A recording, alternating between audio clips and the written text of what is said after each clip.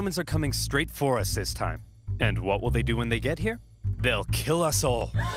They'll massacre each and every last one of us. They may even chop our pets in half. That's barbaric! No, Rob, it's actually pretty normal for the time. We'd do the same to them. Who'll protect us? Funny you should ask, Mary. That's kind of why I called this meeting. Who will protect us?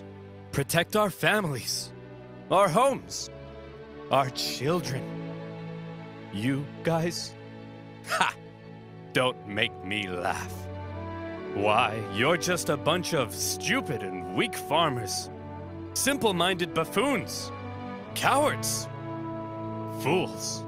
Rob here thinks enslaving women and children is barbaric. You're a snowflake, Rob. Yes, you are. The fact is, if the Romans manage to land on African soil, we're all gonna die. A terrifying, hideous, unspeakably painful death.